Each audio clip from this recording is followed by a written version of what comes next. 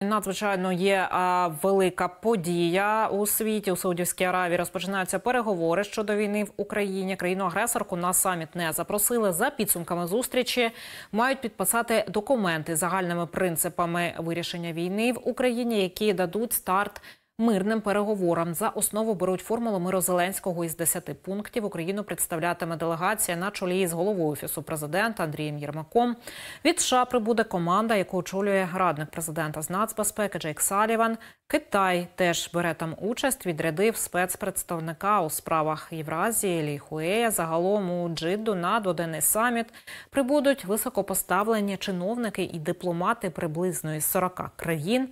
Зокрема, представники ЄС, глобального півдня, а також члени БРІКС на зустрічі країни розподілять між собою пункти формулу миру.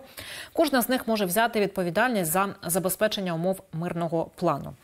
Насправді так цікавий захід, бо ми бачимо, що тут і Китай в цьому взяв участь. А у Китаї перед цим я нагадаю, що було і в МЗС заміни. Ми бачимо, що а, в країні можуть бути зараз зміни у а, зовнішній політиці. З Бріксом теж бачили ми, як приїздили до Путіна лідери багатьох країн. і е, Теж Путін їх намагався в чомусь переконати. Не вийшов у них цей діалог. Зараз про що ми можемо сказати? Чи варто чекати від цього саміту у Саудівській Аравії, який зараз? Зараз е, переламні події, чи тут, е, скажімо так, це більше на інтереси е, окремих держав-учасниць буде все спрямовано? Це дуже важлива для нас зустріч.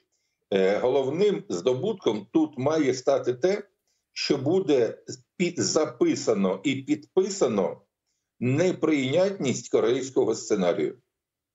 Коли ми говоримо про пункти українського мирного плану, там повне неприйняття поділу України, тобто немає ніяких шансів для того, щоб от Путін, як то кажуть, що завоював, то його.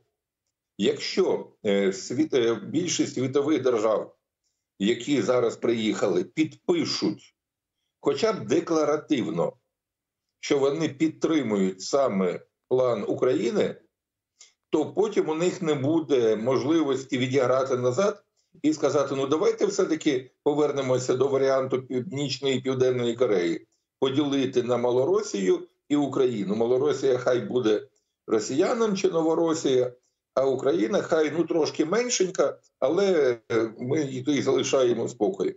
Оце для нас нарешті те, що весь час було найнебезпечнішим, щоб нас не почали дотискати до корейського варіанту. Ось тут ми зможемо нарешті дотиснути, аби вони підписали наше бачення миру.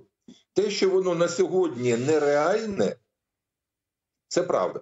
Ми дійсно поки що в найближчій і в найближчій, і в середньостроковій перспективі не можемо вийти на кордони 91-го року. Знаєте, як то кажуть, е, любов до батьківщини і свого народу не полягає в тому, щоб його просто обдурювати.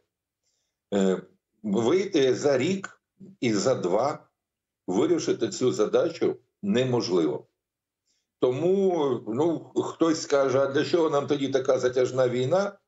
А для того, щоб ми мали можливість, по-перше, повернути всю державу, а по-друге, таким чином нанести все ж таки військову поразку Росії, аби хоча б тривалий час їй не хотілося залазити знову на нашу територію. Бо якщо ми погодимося на середній і близький варіант, вони швиденько відновлять е, промисловість, вони швиденько зроблять сучасну армію, і якою буде третя серія напад для е, України, ну тут важко прогнозувати. Тому для нас це дуже важливо.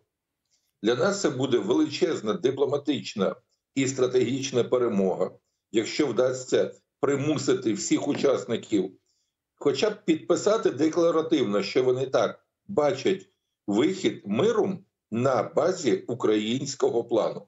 Оце програма максимум і програма оптимум, і, і мінімум, і все разом взяти.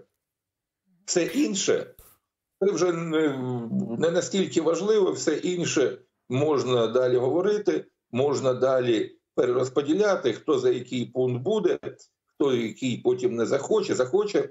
Головне, ми відрубаємо нарешті те, проти чого і наша стратегічна розвідка, зовнішня розвідка боролася, і те, проти чого боролися і наш дипломатичний корпус, і президент особисто е, перекрити можливість сепаратних перемовин і перекрити можливість е, такого скоординованого тиску на Україну з метою е, корейського варіанту.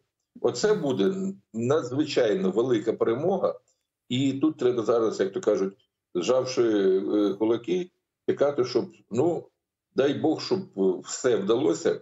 Точніше, Україна зробила все і е, особисто президент, і дипломатичний корпус, і розвідувальний апарат, і всі, хто приймав участь у цьому цьому, зробили все по максимуму. Ну а зараз, зараз повинно зробити стати те, що так довго готували, і до чого так е, довго прагнули. Ну а далі, після цього, ясно, що знову.